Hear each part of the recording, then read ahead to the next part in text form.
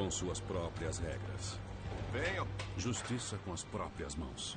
Ali, na piscina, a gente afoga os estupradores. Tolerância zero. De volta para celas. Gangues. Violência. Drogas.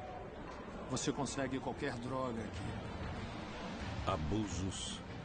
Eu fiz isso para dificultar. E condições subhumanas. Tudo isso atrás das grades em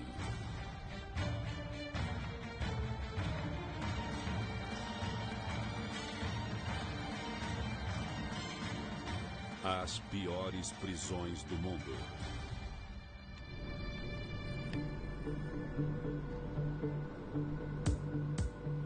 Arizona, Estados Unidos.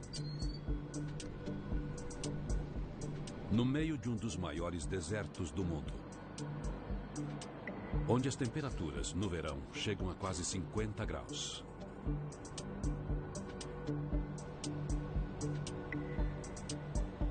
E à noite despencam para meros 15. Bem aqui, fica uma imensa unidade penal. 12 mil detentos em seis diferentes prisões. Dentre elas, a pior cadeia dos Estados Unidos. No centro do escaldante deserto Sonorá, os prisioneiros estão encarcerados em tendas, ou para ser mais exato, na cidade das tendas. Às segundas, sempre chegam novos detentos. O turno começa para o agente Calvin Ross. Ele se prepara para a entrada. Segura aí, gente. Pode levar de volta. Segura aí. Valeu, chefe. Alguns recém-chegados já estão aguardando nas celas de admissão. 20, 21, 22. Tá todo mundo pronto para isso, sim ou não? Sim, tá todo mundo pronto. Hoje, 22 detentos estão se mudando para seu novo lar, a famosa Cidade das Tendas.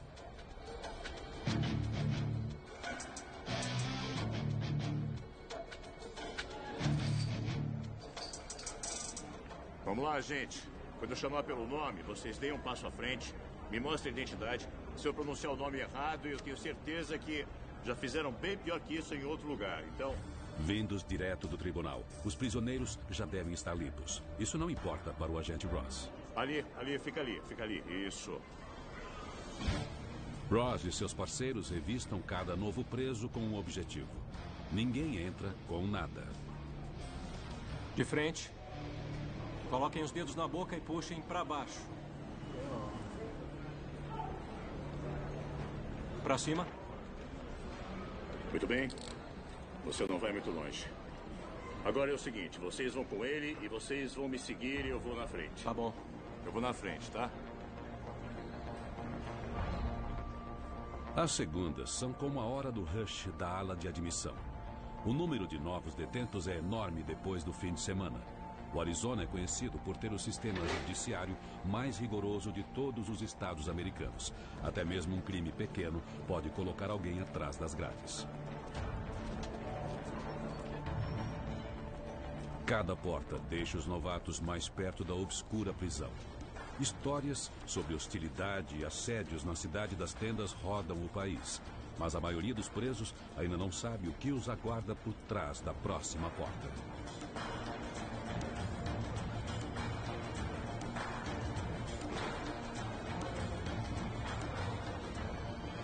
Muito bem, atenção, vamos lá. Fiquem na primeira mesa e esperem o agente dar uma tarefa. Cidade das tendas. Arame farpado e tendas no meio do deserto. As temperaturas lá dentro chegam a ir além da casa dos 60 graus. Todo mundo na grade, todo mundo em pé na grade. Peguem suas camisas. Eles são f... Todos eles. Direita vai, esquerda um, dois, três, quatro. As condições parecem as de um filme ruim de Hollywood, mas são a mais pura realidade. Eu choro quando tô indo pro trabalho e choro quando tô voltando. Aqui, os homens usam rosa. E muitos lembram porcos quando comem. Sabe, comida de porco? É isso que parece. É assim que ele quer. Eu fiz isso para dificultar. Aqueles que não aceitam e ainda precisam de uma lição são jogados no buraco, como é conhecida a solitária de 23 horas por dia da prisão. É difícil não enlouquecer. Aqui tudo vira motivo. No momento tá tudo bem. Aí você vira as costas, pisca os olhos, tá todo mundo brigando. Pra mim, não tem prisão pior do que essa aqui. Atrás das grades, naquela que deve ser a pior prisão dos Estados Unidos. Os presos da cidade das tendas, no deserto do Arizona, primeiro aprendem as regras de vestimenta. E aí? Primeiro dia aqui, né? É. Tudo começa calmo com uma troca de camisa. Aqueles que foram mandados para a cidade das tendas foram oficialmente condenados e precisam de uma camisa oficial. Todo mundo aqui foi sentenciado, então ele não pode usar essa camiseta porque ela diz o contrário. E na verdade ele foi condenado. O preso do xerife. De agora em diante, os novos detentos estão nas mãos do mais famoso xerife dos Estados Unidos, Joe Arpaio, o fundador da Cidade das Tendas, que também trouxe um código de vestimenta muito especial para seus presos. Porque agora é tudo rosa na Cidade das Tendas. Não só para as mulheres, mas para os homens também. Aqui. Toalhas rosa. E cueca rosa. Para todos os presos, o rosa é obrigatório.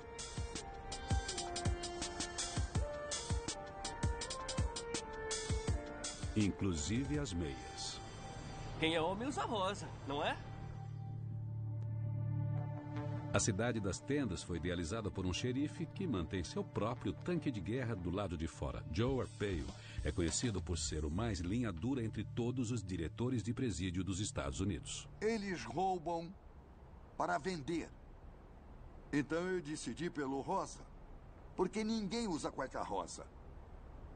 Então, quando eles saem, nós vemos o rosa. Esse é o motivo oficial. O outro motivo é que eles odeiam.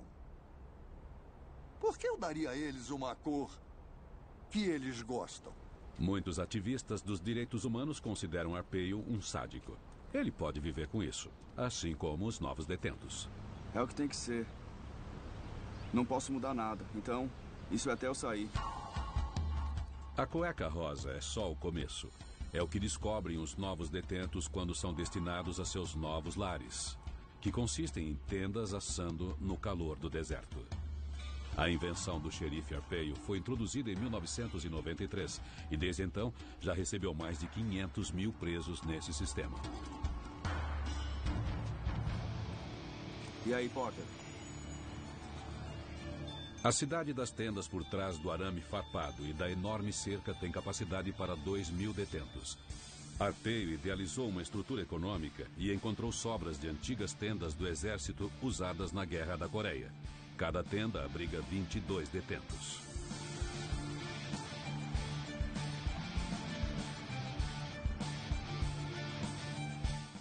Por baixo da lona pegajosa ficam as terríveis beliches, camas enferrujadas, aonde os presos têm que dormir à noite. O xerife Arpeio não tem pena dos infratores da lei.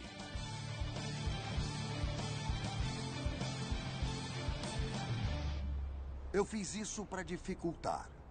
E quando alguém reclama, eu digo uma coisa sempre. E eles não ousam reclamar mais. Os homens e mulheres que lutam pelo nosso país dormem em tendas. E por que será que os nossos presos, que violaram a lei, não podem dormir em tendas? Ao invés de gastar 80 milhões de dólares em um novo prédio, Joe Arpaio investiu 150 mil pratas em tendas velhas, camas enferrujadas, arame farpado e cercas. Agora, o presídio está do jeito que o xerife queria. Uma prisão que os presos vão odiar tanto que nunca vão querer voltar.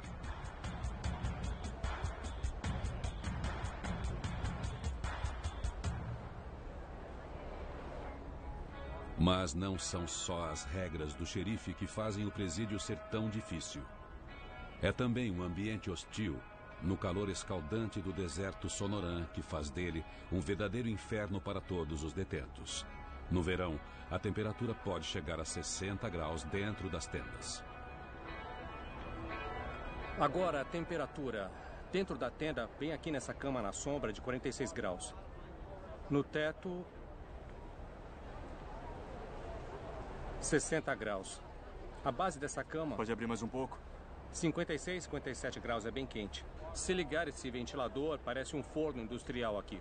Para saber como é, é só pegar o secador de cabelo, colocar no rosto e sentar por uns dois minutos. E vai entender a situação. Cuecas rosa. 60 graus no sol do deserto e tudo isso em tendas.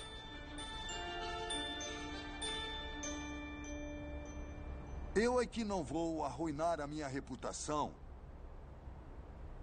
e ser o xerife mais legal da América ou do mundo. Se eles não gostam, que sejam bons quando saírem, sejam bons cidadãos. Desmaiar pelo calor é comum na cidade das tendas, principalmente na tenda das mulheres, que são conhecidas como Gangue das Correntes. Kate, de 22 anos, está se preparando para trabalhar no sol escaldante e com as correntes. Tá bom. Correntes, vai! É muito, muito quente. É sério, é muito, muito mesmo. É muito calor. Às vezes, quando chegam garotas novas, elas até passam mal, porque não se acostumam a ficar nesse calor. Gangue de correntes significa trabalho forçado, um método arcaico dos tempos de escravidão e bastante usado com os presos até os anos 50. Hoje em dia, esse tipo de trabalho só existe aqui no Arizona e, é claro, na prisão de Joe Arpaio. Kate e Jennifer, sua parceira de trabalho, preparam as correntes. Pegou aí? Ok, agora podem voltar. Quatro detentas por corrente. Vocês andando. Depois que as correntes estão presas, a guarda relembra as regras. Eu pergunto e vocês respondem. Regra número um. Você no preso modelo. Mais uma vez, eu quero ouvir. Eu vou ser no preso modelo. Quando? Sempre serei. Regra número dois. Quem não obedecer cegamente às 10 regras do presídio vai ter problemas. Eu vou manter todos os meus pertences guardados dentro das caixas fornecidas. Armar.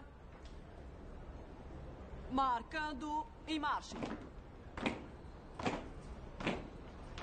Ignorar as regras significa ser cortada da gangue das correntes. E para quem vive nesta prisão, essa é a única forma de não ir parar na solitária. Vai!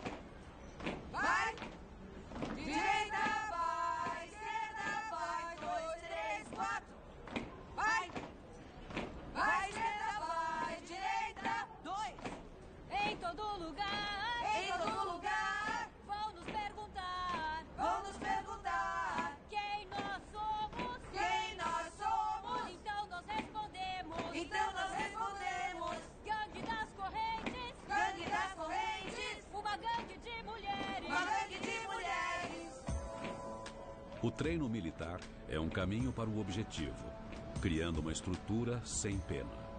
Como nas Forças Armadas, cada passo é ditado e, sob o olhar rigoroso da guarda, ninguém ousa quebrar as regras. Era uma vez 15 mulheres!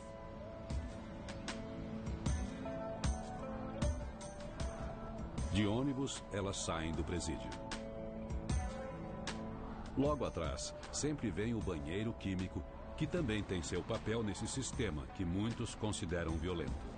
Para sua humilhação, a gangue das correntes sempre trabalha em rodovias movimentadas para que sejam submetidas aos olhares curiosos dos vizinhos, colegas de trabalho e amigos. Antes de saírem, uma última instrução. Tudo isso pode ser considerado arma. Então não peguem nada, porque vocês não vão gostar da minha reação. Se virem algum desses, passem bem longe. Antes de começarem, as presas podem usar o banheiro químico do presídio. Uma única vez. Ainda assim, de corrente. Mas como elas são longas, o resto da gangue não precisa entrar junto. Elas podem esperar do lado de fora. Quantas saíram? E aí, você sabe quantas saíram? Jennifer é uma imigrante alemã condenada por tráfico de drogas que está lutando muito com as regras rígidas de Joe Arpaio, principalmente com relação ao calor. Na noite anterior, nos dizem para beber pelo menos três garrafas de água. Porque eles não querem que a gente passe mal. Mas, por outro lado, a gente só pode usar o banheiro uma vez, antes de começar a trabalhar. Se precisar ir ao banheiro de novo, tem que se segurar. Hoje, o trabalho para aquela que o xerife Arpeio se orgulha de ser, a única gangue de mulheres do mundo, é cortar os arbustos para que nenhuma cobra venenosa se instale no acostamento. Tudo isso acorrentadas. Tudo isso a mais de 40 graus. E tudo isso em público. Eu choro quando eu tô indo pro trabalho e choro quando eu tô voltando.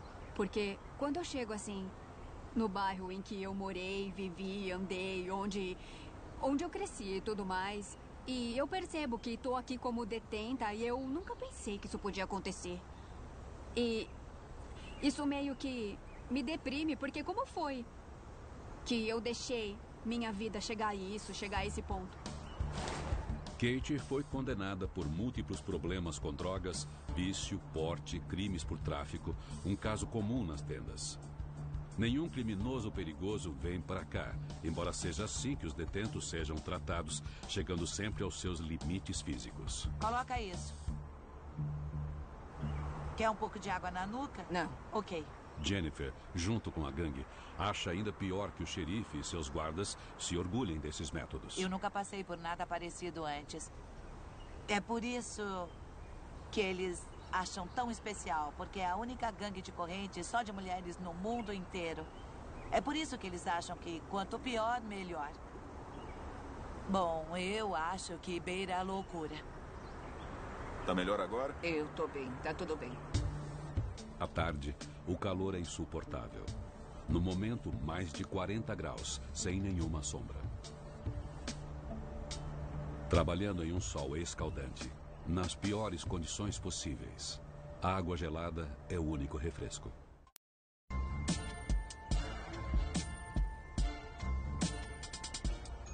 Há toalhas molhadas, cor de rosa, é claro.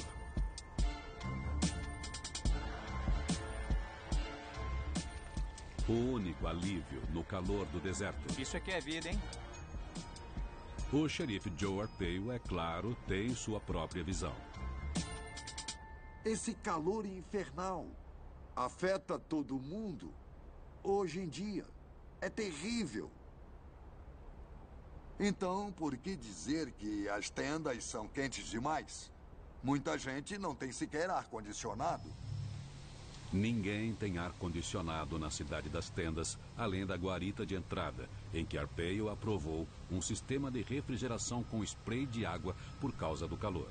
Andando. Vai logo. Em dias assim, a maioria dos presos deita tranquila em suas camas e até essa suposta calma é logo interrompida, já que desordem constante faz parte do conceito Joe Arpaio. Uma tarefa para a equipe de combate especial, uma divisão do presídio, ou ECE para simplificar. Tá legal. E então a gente tem que estar tá meio preparado? Parte do equipamento de primeira linha é o taser, uma arma de eletrochoque que, numa emergência, tira os presos de combate em segundos.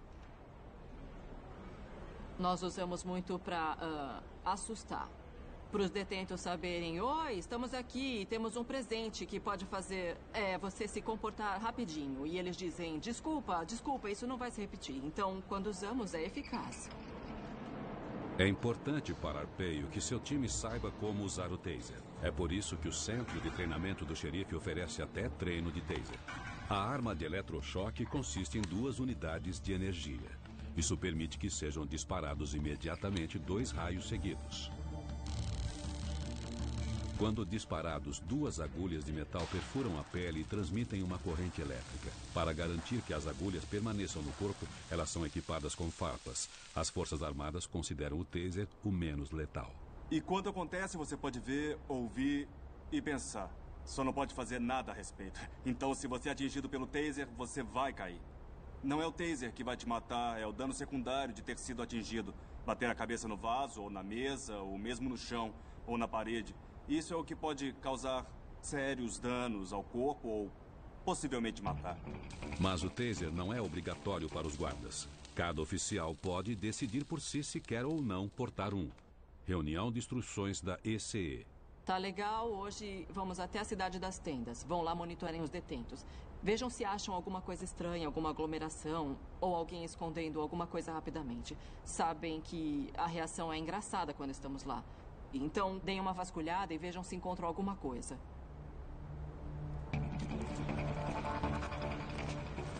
Acordem, senhores! Todo mundo na grade! Todo mundo em pé na grade! Peguem suas camisas, seus calçados, vamos! O esquadrão usa o elemento surpresa para que os presos não tenham chance de esconder nada. Vamos lá! Coloquem as mãos para trás, senhores. Mãos para trás, senhor. Não na cabeça, nas costas. Obrigada. Os detentos têm que fazer fila na grade. O tom de voz é áspero. Qualquer oposição é intolerável. Um pouco mais longe, pouco mais. Tá legal. Acelera pra direita, pra direita. senhor. Pô, vira o pé pra mim. Todos são revistados com cuidado. Os guardas sabem, por experiência própria, que os presos podem esconder coisas em qualquer lugar. Eu achei um com uma pipa, ou pelo menos parecia. Com informações sobre um assassinato da máfia do México, que é uma das maiores gangues da área. Eles realmente estavam planejando matar alguém. A equipe de combate mexe em tudo meticulosamente e sem nenhum respeito pela privacidade. Qualquer achado implica em penalidades drásticas. São momentos tensos para os presos. Se eles são pegos com qualquer coisa, o buraco os aguarda. O buraco, nome dado para solitárias, fica localizado na vizinha prisão das Torres.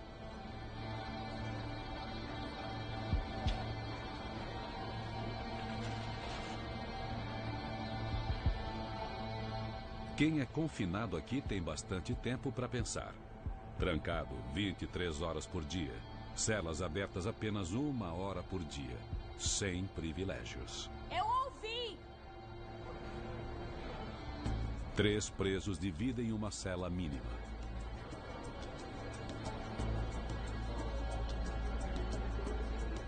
A única vista que eles têm em semanas: grades e arame farpado. É o seguinte, eu vou explicar como a coisa aqui funciona, tá? São três pessoas por cela, então. E só é... tem um lugar na mesa. Pois é. É engraçado porque você tem uma cela para três, mas só um lugar para sentar. Ah, a coisa aqui é braba. Zero privacidade. Até o banheiro fica no meio da cela.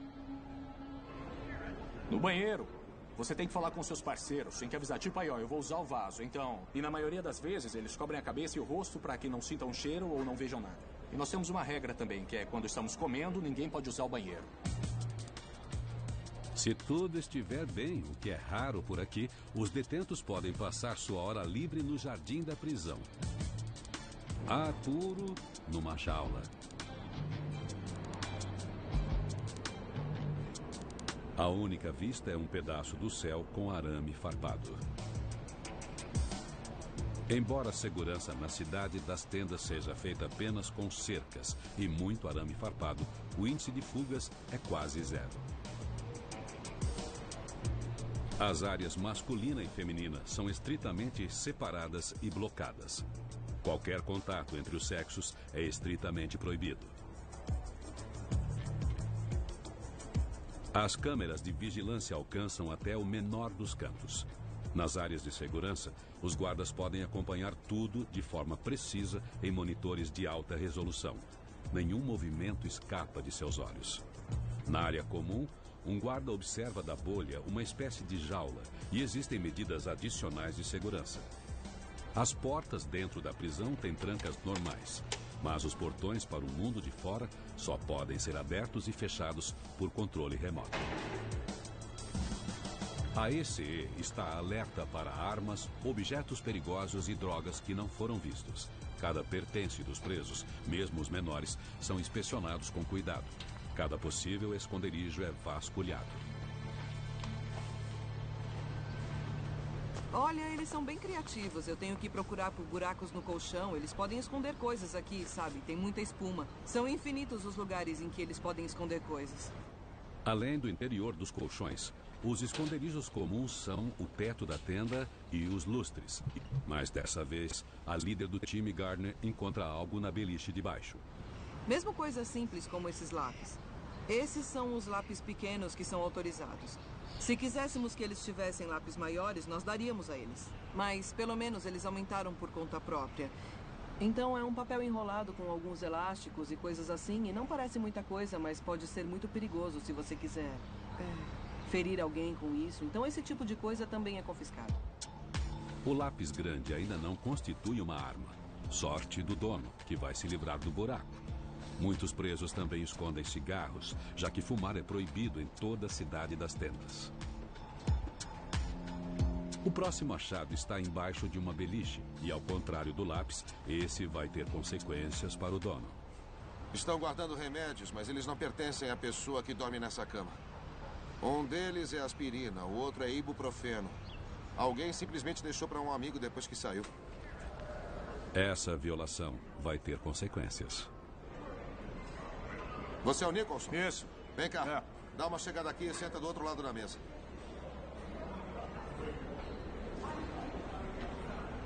Esses remédios são seus?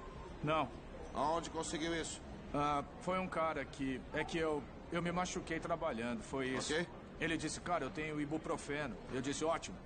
E ele pediu, depois guarda pra mim. Então primeiro eu tava guardando pra ele no meu armário. Só que ele se enrolou e aí. Se não foram prescritos pra você, não pode tomar. A punição no buraco foi piedosamente descartada. Provavelmente só uma restrição. Tipo uma restrição de visita por causa do remédio. O preso teve sorte, não vai pro buraco.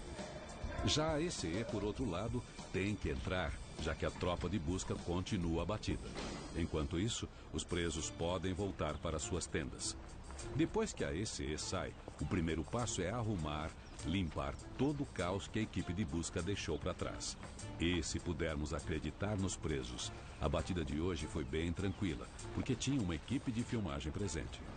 Eles são falsos, eles fizeram uma cena. Geralmente eles são f. Todos eles. Um bando de. Todos. Sofrimento, calor, regras rígidas e abuso. De acordo com o xerife, tudo isso deve dar aos presos motivos para repensar. O prisioneiro Fred não liga. É um visitante frequente. Com 15 e 16 anos eu comecei nas drogas. E depois foi ladeira abaixo. Eu fui acusado de dano criminal. Recebi um mandado de prisão sem ir ao tribunal e foi aí que começou. Eu comecei a entrar e sair, desde então eu fico indo e vindo daqui a cada cinco meses. Eu vou e volto o tempo todo. Fred faz parte de uma gangue de rua e só esse ano passou por nove prisões diferentes, incluindo a cidade das tendas. Para o jovem de 21 anos, é um beco sem saída. Até os métodos pesados do xerife aparentemente falharam. Honestamente, eu sou viciado. Isso quer dizer que eu vou voltar para as drogas. Eu já vim para cá um montão de vezes, dez vezes. Eu simplesmente não sou inteligente, tá ligado? Eu vou voltar para isso, sempre. Mesmo quando eu tô aqui, eu nunca vou. Eu posso dizer que eu não vou voltar para as drogas, mas assim que eu saio, eu vou direto para elas. Muitos outros são visitantes regulares. E o próximo transtorno vem chegando. Recolher, recolher. Todos os detentos voltem para celas imediatamente. Toque de recolher. A cada duas horas esse aviso toca. Os presos devem todos estar em suas tendas para a contagem. Se alguém estiver faltando, é considerado um fugitivo e a busca começa. Todo o resto deve permanecer nas camas até que a situação seja resolvida. Prisão das Torres. Enquanto isso, a ECE chegou ao espaço onde ficam as celas do buraco. A divisão especial começa a trabalhar.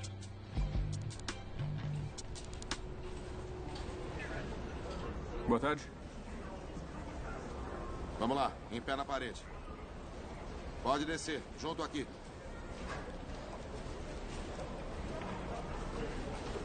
Pode ir, Isso fica aí. perto dele. Todo mundo aqui embaixo.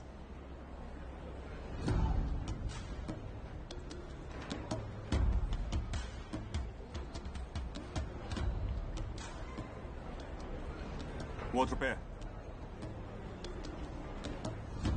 A equipe é especialmente cuidadosa no buraco.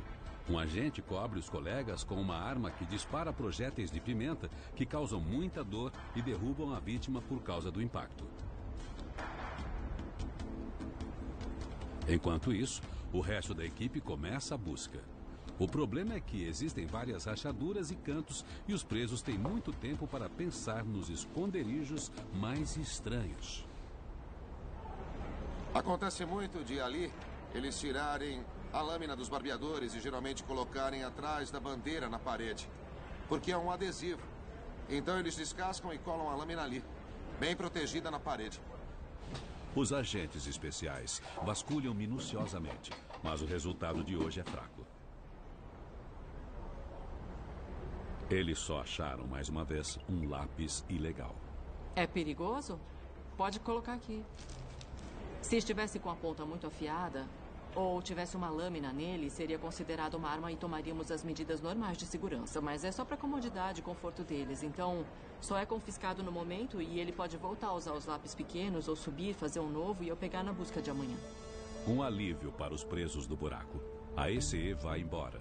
E dessa vez, sem nenhum sucesso aparente. Para mostrar que isso não é nem de longe o normal, as buscas anteriores encontraram facas feitas à mão, isqueiros e drogas. Como os cigarros são estritamente proibidos na cidade das tendas, também são considerados contrabando. É de tarde. O grupo do dia volta do trabalho.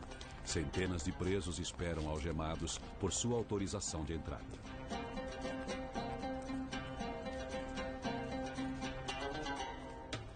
Depois da contagem, vem o próximo transtorno. Oficialmente, todos os presos têm que se barbear duas vezes ao dia e às vezes mais. Aqueles que não respeitam a regra são jogados no buraco. O mesmo acontece a qualquer um que não devolva o barbeador com a lâmina para descarte. Os guardas sabem exatamente como essas lâminas podem ser perigosas. Eles batem com ele no chão assim, e aí quebra e eles conseguem tirar a lâmina. Se qualquer um deles não devolver o barbeador, os guardas de arpeio punem todos os detentos. Você ganha uma lâmina quando entra, então é melhor ter uma quando sair, ok? Senão, vamos te vasculhar, trancar no buraco, ninguém se mexe. Telefones desligados, televisão desligada, nada de privilégios até encontrarmos essa lâmina. E é a última.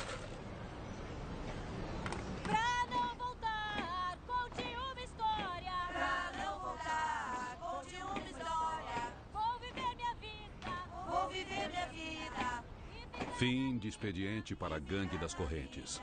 Depois de horas num calor escaldante, as mulheres voltam para a pior prisão dos Estados Unidos. Um, dois, três, quatro, vai! Um, dois, três, quatro. E acaba o luxo.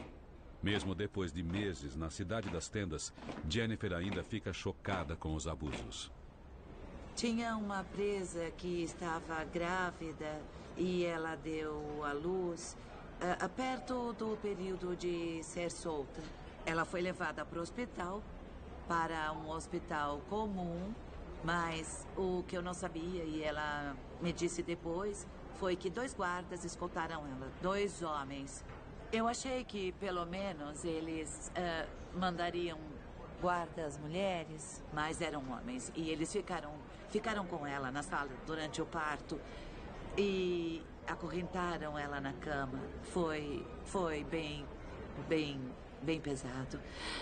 E os homens ficaram na sala de parto o tempo inteiro. Eu me sentiria muito desconfortável. Eu não conseguiria, mas ela não tinha escolha. E depois ela pôde segurar o bebê por algumas horas e os guardas, não vou dizer quais, porque senão eles vão saber, vieram e levaram a criança. Todos perderam qualquer esperança de piedade, incluindo Kate, que pelo menos acredita que com toda sua brutalidade, a cidade das tendas vai livrá-la para sempre de seus demônios. Por muitos anos, ela foi viciada em heroína. A minha mãe disse que bom. Disse que eu tinha que vir pra cá.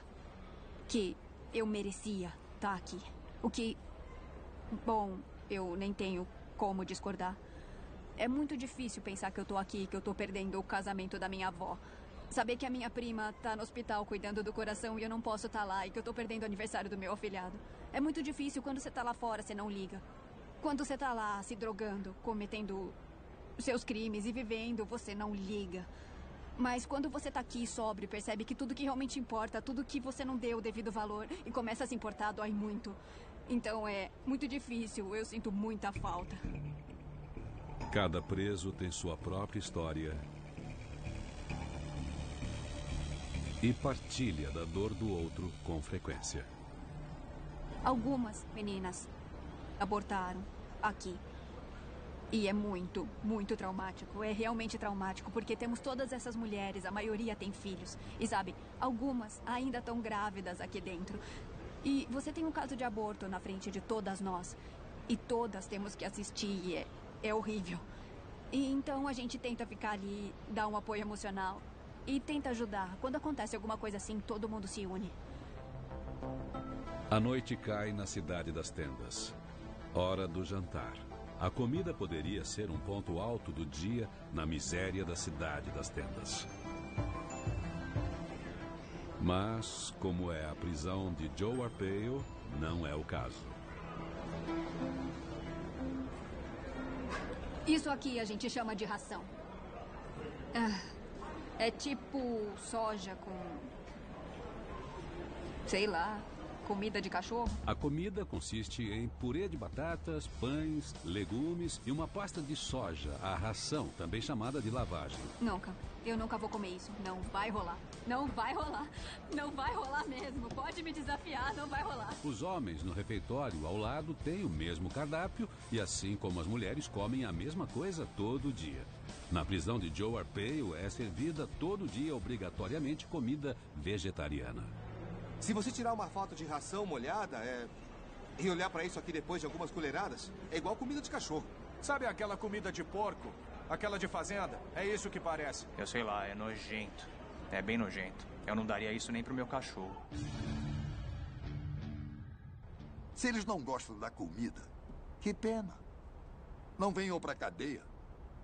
O que, que eles querem? Comida chinesa numa semana, na outra italiana? O que, que é isso, um hotel? Eu vou tirar a manteiga deles agora e economizar mais 100 mil dólares. Enquanto os detentos lutam para engolir a mesma comida horrorosa e sem gosto, propositalmente o canal de culinária na TV deixa claro o contraste. É legal, eles aprendem a cozinhar. Depois de um dia inteiro no calor escaldante, um dos presos se descontrola. Mas que merda! Eu vou dar um papo de novo. A limpeza da perto da divindade, cara. As consequências vêm rápido. Os guardas entram em ação. Ninguém sabe por que o preso está tão irritado. Para evitar que outros presos sejam contaminados, primeiro eles devem ser retirados das tendas e depois os guardas interrogam o encrenqueiro. Me diz, vai causar problemas? É claro que não, tô bem. Tá chorando, é? Eu não tô chorando, você me pegou no momento ruim. E o que é isso saindo Você dos quer seus saber olhos? porque eu fiquei um pouco sensível? Porque por um segundo eu lembrei de alguns amigos que eu perdi na tempestade. Tá bom. Beleza? Senhor? Quer saber? Sim, senhor. Olha, eu tô aqui. Pode me dar choque. Pode me prender, não tô nem aí. Opa, eu dei um peidinho aqui, senhores. Desculpem. Com todo respeito, senhor. Os homens de Arpeio levam o preso embora. O agente Ross e um parceiro o levam para um exame médico. Nas próximas horas, será decidido se ele será mandado para o buraco ou transferido para a ala psiquiátrica. Cenas comuns para os guardas da cidade das tendas, a pior prisão dos Estados Unidos. Eu tenho empatia. Eu compreendo as coisas. Eu não tenho compaixão. Empatia eu tenho. A minha posição requer um certo cuidado, proteção, controle, assim. Não precisamos tratar as pessoas com crueldade para fazerem alguma coisa que a gente quer que elas façam. Ah, por exemplo, se elas ficam doentes, é claro que nós queremos que elas melhorem. Mas não queremos que virem um problema ainda maior. Ah, se você sabe que elas estão doentes, você tem que fazer alguma coisa a respeito. Você vai ficar aí só por uns minutos, tá? Vai lá. Vai lá, Tá bom, fica tranquilo. beleza. Tudo é bem, isso aguenta que quer aí. dizer cinco anos de prisão, é sério? Não se preocupa com isso não, vai lá. Eu vou esperar o Trejo aparecer e nós Beleza. seguimos daqui. Cidade das Tendas, em Phoenix, Arizona. A pior prisão dos Estados Unidos. Controle constante. Ações disciplinares. Intimidação. Trabalhos exaustivos no calor do deserto. Eu, vou voltar, você também. Eu vou voltar, você também. Acorrentados. Não só para os homens, mas também para as mulheres.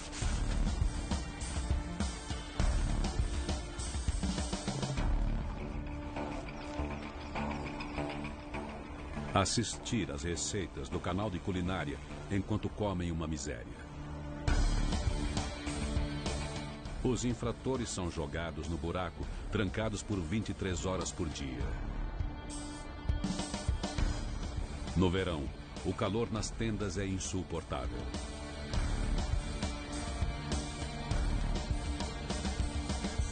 Para o xerife Arpeio, a mídia exagera demais. Eu sei que temos uma má reputação, mas não é tão ruim quanto você vê nos jornais ou na Anistia Internacional, que odeia as tendas. Todo mundo. Eh, os civis ou os direitos humanos, todos odeiam as tendas. Mas eu ainda estou aqui. E as tendas também. E elas não vão a lugar algum. E Freddy também vai passar os próximos meses atrás do arame farpado em uma tenda. Na verdade, eu nem sei mais que horas são. Eu não faço ideia de que dia é hoje. Eu só vou seguindo até que eu seja solto. É meio difícil, mas eu tenho que passar por isso. Eu tô cansado de ficar aqui, cara.